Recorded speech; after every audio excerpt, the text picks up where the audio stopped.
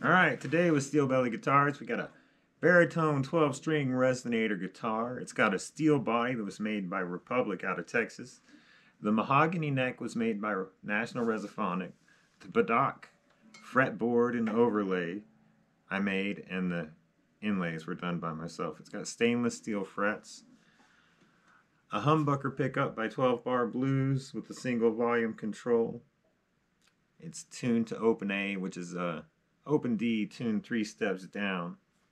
We'll start out unplugged and let you hear it with some amplifier going through a tube amp.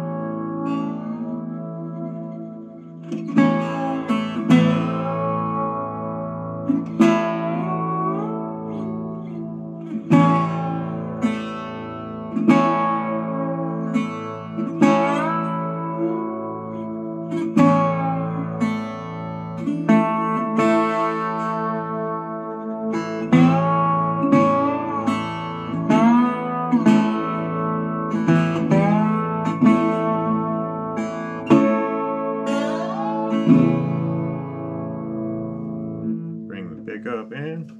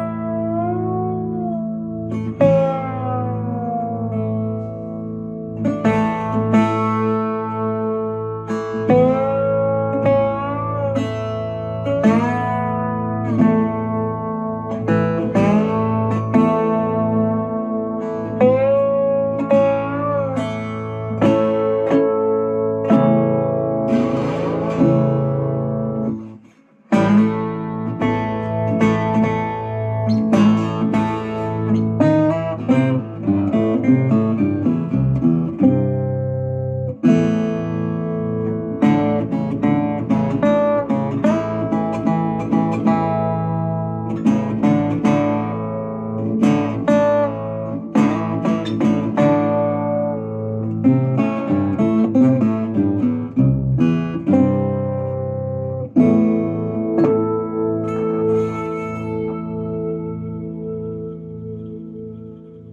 right, thanks for watching.